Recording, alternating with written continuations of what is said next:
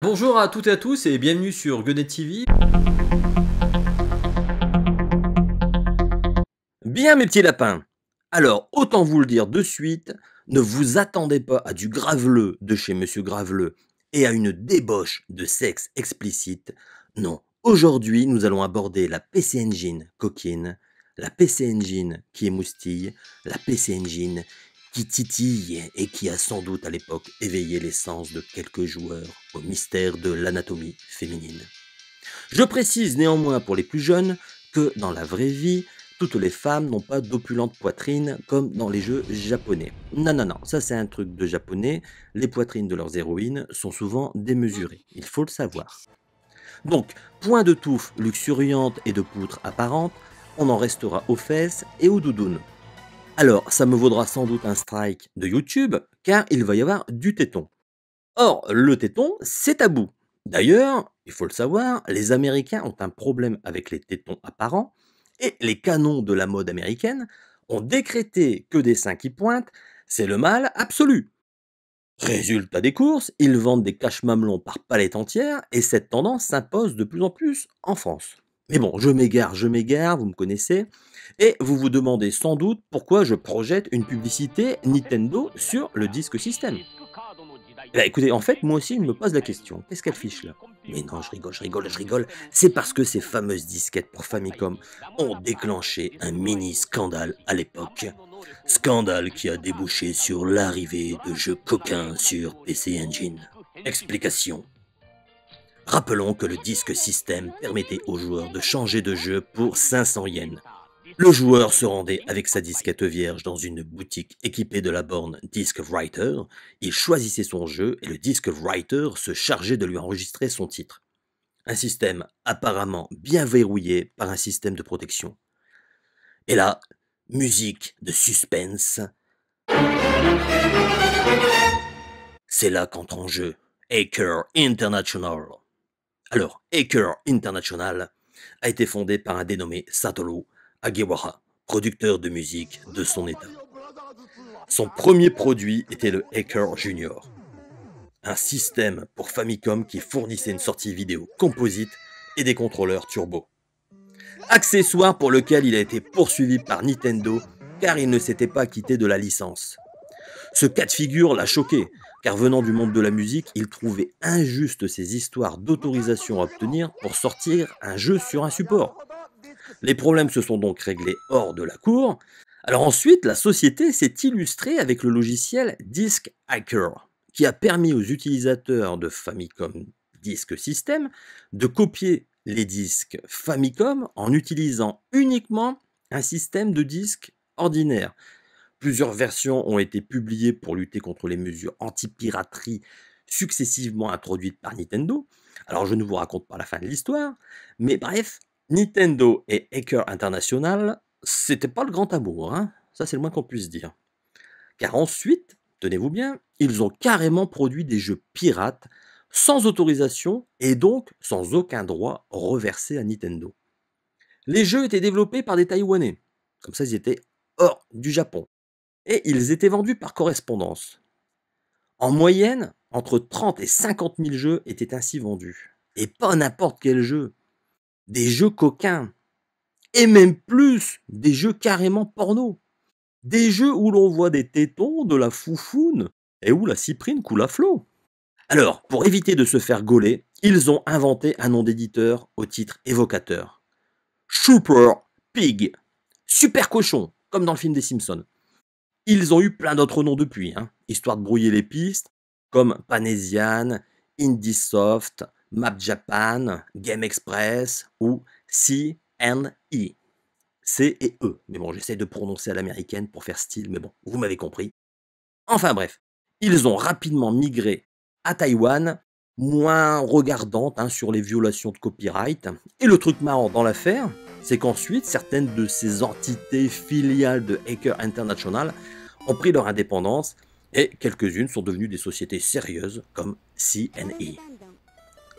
Alors, disponibles uniquement au Japon sur Disk System, ils se sont payés le culot de demander une autorisation à Nintendo of America pour distribuer leurs titres au State et donc sur cartouche, car le disque système n'était pas disponible là-bas. Alors vous imaginez la suite.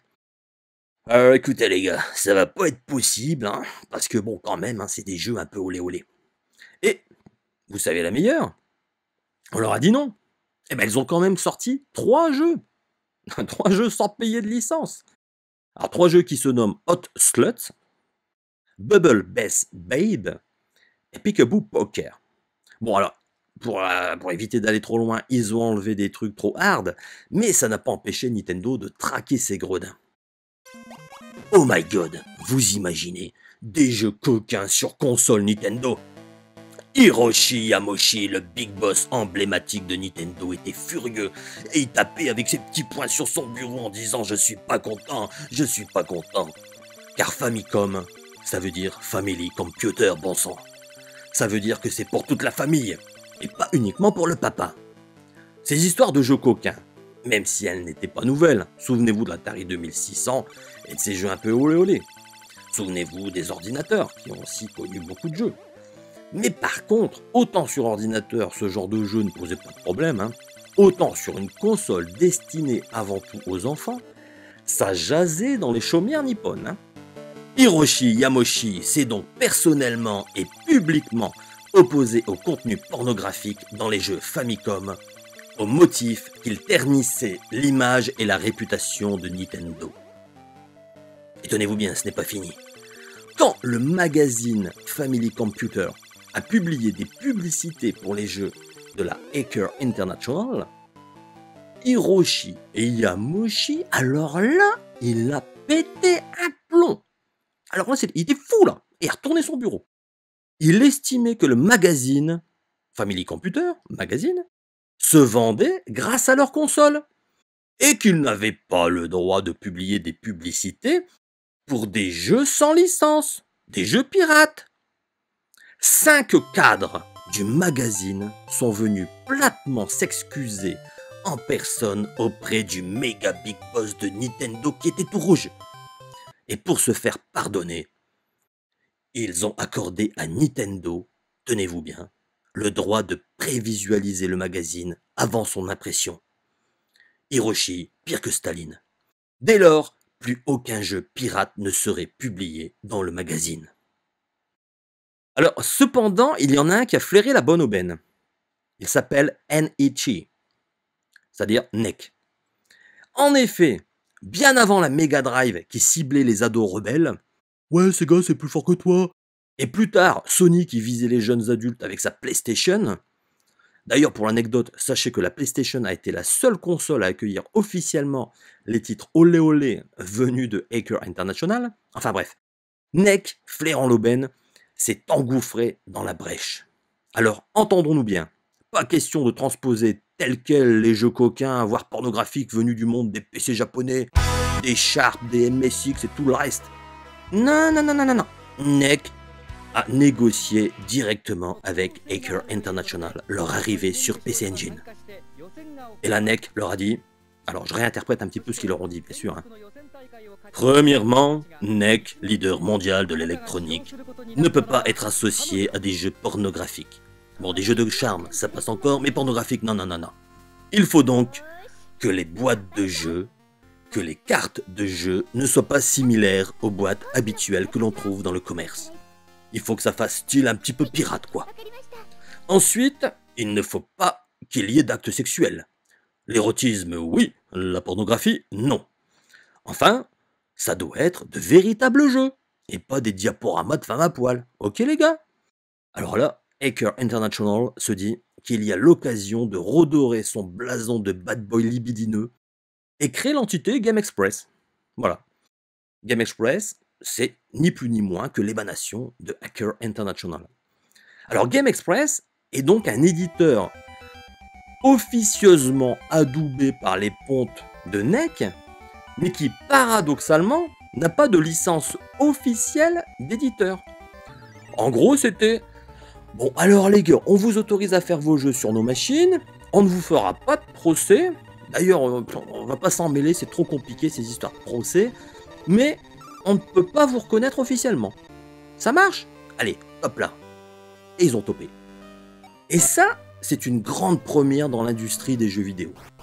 Alors quand je vous dis que la PC Engine c'est une console exceptionnelle, vous me croyez jamais. Mais vous voyez, hein, j'ai encore raison. Ah bah, moi je veux rien dire, mais bon, c'est moi. Hein, bon. Et encore, vous n'avez rien vu. NEC est finalement allé beaucoup plus loin dans le trip des jeux coquins. NEC, leader mondial de l'électronique. Mais bon, ça, je vais pas vous le raconter tout de suite, parce que bon, après, on va s'embrouiller, et puis voilà, il faut, un peu de suspense pour la suite. Hein. Alors, on en revient à Game Express. Ce dernier va donc sortir plusieurs jeux au format U-Card. Il va y en avoir quelques-uns, souvent des jeux de machine à sous ou des maillons comme Kyokyoku Mayong 2, qui était la suite du premier, et que je suis sûr que personne ne connaît. Mais bon, on va pas parler de ces jeux-là de machine à sous et de maillons, on va se concentrer sur trois titres qui ont été de véritables cartons sur PC Engine. Le premier c'est Body Conquest 2, le second c'est Lady Sword et Strip Fighter 2. Alors, Body Conquest 2, qui est en fait la suite du premier, hein, comme son nom l'indique, et qui était sorti, la première fois, en version pirate sur le disque système de la Famicom. Alors là, ils sortent Body Conquest 2 sur la PC Engine, la rivale de la Famicom histoire de tacler Nintendo au passage, de leur passer la langue comme des garnements et de leur dire nananananer, nous maintenant on sort des jeux officiels sur une console pour les vrais hommes et pas pour les kékés en culotte courte. Alors bon, au final, c'est un jeu de rôle sympa, mais franchement, il n'est pas exceptionnel, hein, loin de là. De plus, il est vraiment très soft, quelques décolletés plongeants, quelques bonnes cuisses girondes, et puis quelques petites pauses suggestives, mais on sent bien que Game Express avance à petits pas, histoire de ne pas avoir une pichenette dans l'oreille de Neck. Le second titre, Lady Sword, est tout de suite plus ambitieux. U-Card de 8 MB. 8 MB les gars. Graphisme et bande son travaillés, bien ficelés, on voit tout de suite que Game Express veut faire bonne impression et que bah, finalement NEC n'a pas fait d'erreur en leur accordant leur confiance. Le résultat est à la hauteur. Un RPG en 3D, et ouais, en 3D les RPG. Bien ficelé avec 10 jolies japonaises à sauver d'un méchant démon. Mais ces femmes ne vont pas vous remercier avec un simple sourire. Elles laissent entrevoir d'autres récompenses bien plus sympathiques que le simple For rescue me de la princesse Peach ou de la princesse Zelda. Hein Parce que ces deux-là, quelles ingrates. Hein Moi je veux rien dire, mais Mario et Link, bon bah ils doivent souvent dormir sur la béquille hein, le soir. Enfin bon bref. En tout état de cause, Lady Sword se vend très très très très bien. Mais la rentabilité du jeu laisse à désirer. La faute au coût de la mémoire. 8 MB, ça coûte très cher tout comme les graphistes, les programmeurs, les compositeurs à rémunérer. Ouais, même si ce sont des Taïwanais, il bah, faut quand même les payer un petit peu. Hein.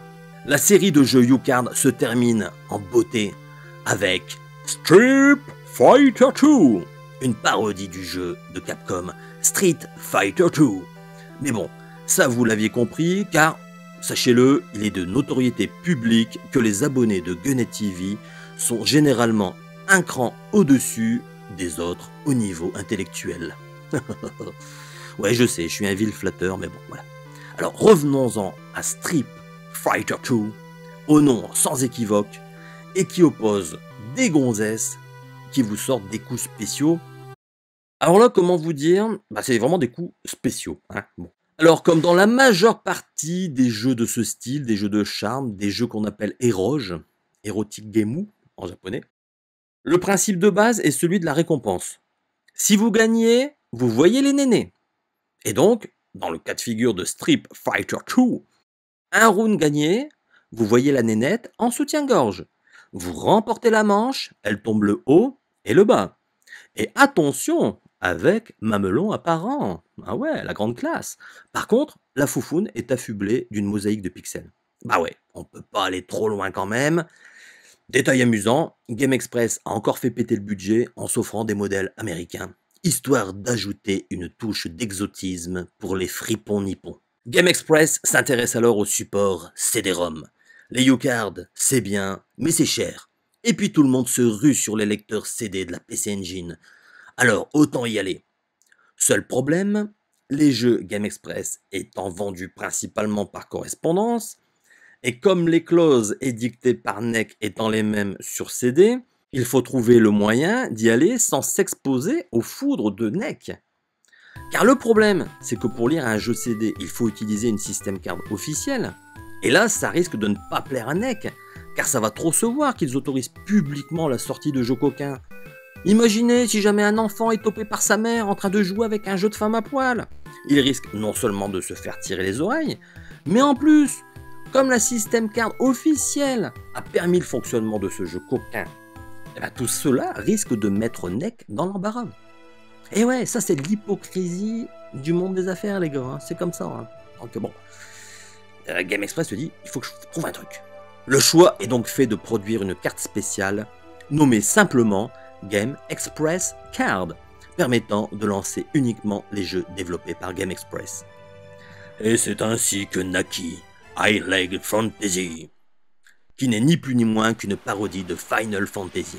Ouais, alors chez eux, ils aiment bien les parodies. Hein. Après Street Fighter 2, là, ils nous font Final Fantasy. Alors, dans High Leg Fantasy, tous vos adversaires sont de redoutables femelles qui vont s'effeuiller au fur et à mesure des coups que vous leur porterez. Et cette fois, Game Express y franco. On voit les tétons, les femmes prennent des positions lascives, voire de soumission une fois vaincues, et chaque fin de monde se termine par un visuel très sexy, un tantinet bondage sur les bords même. De l'aveu même du boss de Game Express, Satoru Igawara, la PC Engine a été une véritable bénédiction pour son business. Vous imaginez le truc? On vous autorise à sortir des jeux pirates sur un support et en plus on ne vous réclame aucun droit d'auteur. Cerise sur le gâteau, bien plus tard, NEC a félicité Game Express pour avoir contribué au succès de la PC Engine. Ah ouais, parce qu'ils vendaient plein de PC Engine avec tous ces petits jeux un peu olé olé. Satoru est ensuite devenu titulaire d'une licence officielle d'éditeur sur PlayStation, c'est ce que je vous disais tout à l'heure, sous le nom de Map Japan. Et ils ont sorti 15 jeux. Bon, alors essentiellement des jeux de casino et de pachinko et autres. Bon, bref, des jeux pas très, pas très appréciés par ici, mais bon, voilà. Ils ont sorti quand même 15 jeux et la société a mis la clé sous la porte en 2001. Je sais, c'est triste, hein, mais bon, voilà, il y a des histoires qui se terminent parfois mal. Mais indirectement, cette ouverture d'esprit de NEC incite d'autres éditeurs à se lancer dans le genre des Eroge. Je vous le rappelle, Erotico Gemu, Erotic Game, jeu érotique. Ou à minima dans une subtile suggestion érotique. On a tous en mémoire City Hunter, Nicky Larson, sur la fameuse U-Card. Un jeu relativement basique où notre ami Nicky pénètre dans des pièces et où parfois des demoiselles sont peu vêtues et sont surprises de voir débarquer Nicky Larson. Alors, bon, rien de bien méchant, mais on sent qu'il s'y distille une petite atmosphère de voyeurisme dans ce titre. Alors toujours dans le registre des dessins animés, Ranma Enemy va encore plus loin dans le délire. Alors Ranma, pour rappel, voit le personnage principal se transformer temporairement en femme. D'où des situations parfois cocasses teinté d'un soupçon d'érotisme. Alors, pas de quoi émoustiller Robert, le routier international qui culbute à tour de bras des péripapéticiennes sur les airs d'autoroute. Mais on imagine bien que les jeunes garçons prenaient un malin plaisir à progresser dans le jeu pour voir quelques pixels de doudoune. L'un des jeux Ranma Enemy sorti sur PC Engine est produit par Masaya. Souvenez-vous, j'en ai déjà parlé, Shubibi Man 3, etc., etc. Joue habilement sur cet état de fait dans son Digital Comics. La scène où Ranma se fait attaquer par un méchant requin et où elle est amenée à utiliser son soutien-gorge comme arme est franchement réussie. Tous les genres sont concernés, jeux d'action, jeux de baston, shoot'em up, jeux de réflexion. Et d'ailleurs on se souvient de Burning Angel, un shoot'em up de Naxatsoft, où dès l'introduction on voit l'ondulation hypnotique des deux héroïnes. Chaque fin de stage était ponctuée par une petite cutscene où les héroïnes échangeaient sur la situation.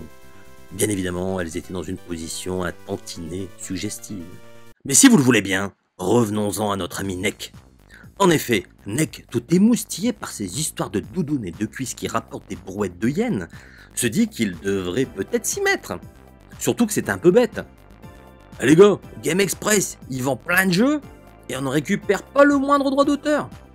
De plus, les autres éditeurs ils commencent à s'y mettre, comme Naxatsoft, Nishibutsu, etc. etc. Demande donc à sa division jeux vidéo, NEC Avenue, de plancher sur le sujet. Alors là, je fais encore un petit rappel pour ceux qui connaissent pas le monde PC Engine, mais NEC Avenue, c'est le bras armé PC Engine du géant de l'électronique mondiale, NEC. Ah oui, forcément, il s'appelle Paris. NEC Avenue a de la caillasse sur son code vie, vous pouvez même pas imaginer. Il peut se payer toutes les licences qu'il veut. Outrun, ouais, pas de problème, je l'achète. Ghouls and Ghost, ouais, pas de problème, je l'achète. Thunderblade, ouais, ok, je l'achète, ouais, ouais. Afterburner, ah bah, il est vieux, lui, je l'achète aussi. Alors, bref, ils achètent plein de licences.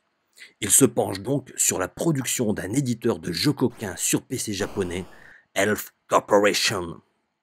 Alors, Elf Corporation, c'est le Marc Dorcel des jeux vidéo japonais. Leurs jeux sont généralement très bien ficelés et distillent un érotisme ou une pornographie bien amenée. Mais ils ne font pas que ça, ils font aussi des jeux normaux. Ah bah ouais. Qui plus est, ils ont fait leur fortune sur un jeu de rencontre amoureuse, un dating simulator, nommé DokuSei. Alors je prononce peut-être pas bien, parce que j'y ai jamais joué. Mais DokuSei, bah, c'est une série de jeux un peu gentils, voilà, c'est très soft. Ici, tout est dans la gestion des sentiments amoureux, de la rencontre, et des papotages, papati, patata. Bon bref, ça parle énormément, et c'est injouable pour qui ne parle pas le japonais. Né, né. Bon, excusez-moi, je suis désolé pour cette blague, elle est nulle. Enfin bref, Neck Avenue se dit que les types de Elf Corporation sont fréquentables. Ils produisent des jeux bankable, et Neck Avenue sort son carnet de chèques et leur achète la licence de plusieurs jeux. Allez, on y va franco, on retrouve ainsi DokuSei, mais également une série qui cartonne, Dragon Knight, un dungeon crawler comme Lady Sword, d'ailleurs en 3D, et cette série met en scène un jeune aventurier qui délivre une ribambelle de femmes prisonnières dans de sordides donjons. Ces pauvres femmes sont souvent malmenées par leurs geôliers et bah, notre ami arrive toujours à temps pour les délivrer. Bon, alors, il les trouve généralement dans des positions inconfortables, hein, ligotées, enchaînées, et dans la majeure partie des cas, elles sont dévêtues. Alors, le running gag de cette série, donc là vous fermez vos oreilles pour pas. Vous voulez pas être spoilé, mais c'est que notre héros au grand cœur ne s'en tape aucune. À la fin du jeu, il est toujours puceau. Mais bon, au moins il s'est rincé l'œil, voilà. On en revient au concept de base de ce type de jeu, progresser dans le jeu pour avoir sa récompense visuelle. Et Neck Avenue fait bien les choses.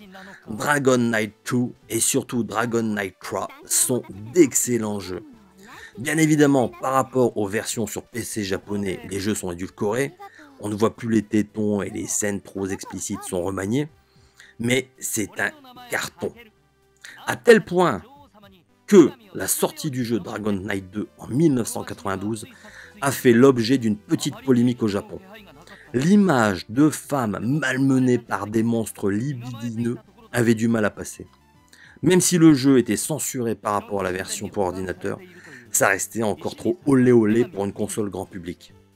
D'ailleurs, la branche américaine de NEC ne demandera pas l'importation de ce titre et sa localisation, craignant des retombées médiatiques négatives. Ils déclarèrent simplement que le jeu était trop typé pour le marché japonais et qui ne marcherait jamais pour le marché américain. Bon, quelque part, c'est une sacrée bande de nazes, hein, parce que s'ils n'ont pas compris que les jeux un peu olé olé, ça fait vendre aussi des machines, ils n'avaient rien à faire dans le business. Hein. Mais Neck Avenue fera comme si de rien n'était, et ils ont bien fait, parce que ce titre a été un véritable succès commercial, cinquième meilleure vente software de l'année 1992. Dragon Knight 3 sera lui aussi un véritable carton et sera un excellent vendeur de PC Engine Duo. Le fait d'édulcorer des jeux permet de ne pas être trop pointé du doigt et d'être vendu dans les circuits traditionnels de distribution. Une stratégie commerciale payante pour Neck Avenue, là où Game Express devait essentiellement se concentrer sur la vente par correspondance pour écouler ses jeux. Et comme le second opus et le troisième opus ont été de véritables cartons, eh bien, elles se disent, on va ressortir le premier. On va l'appeler Dragon Knight and Graffiti. Et là, on se dit, c'est quoi le rapport avec les graffitis? Eh ben, c'est tout simplement un remake de la première version, avec en plus plein d'images. C'est une sorte de best-of, l'intégrale des scènes un peu olé olé. Voilà, donc voilà, Dragon Knight and Graffiti, c'est vraiment voilà, le premier opus agrémenté de toutes les scènes, un tantinet sexy des précédents opus. Dès lors, les jeux coquins vont déferler sur la PC Engine. Alors je vais vous épargner les Mayong et jeux de Majinasu, la PC Engine en a vu fleurir des dizaines. Alors souvent des Mayong, comme Mayong Sword, Vanilla Syndrome, Sexy Idol Mayong.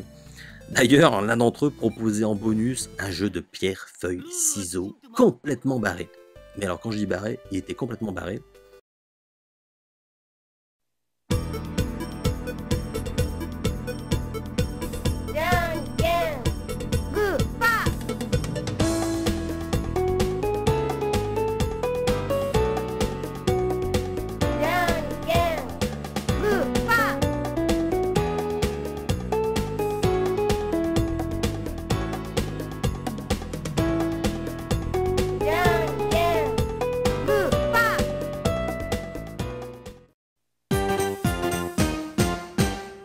La fin de vie de la PC Engine a été particulièrement gâtée.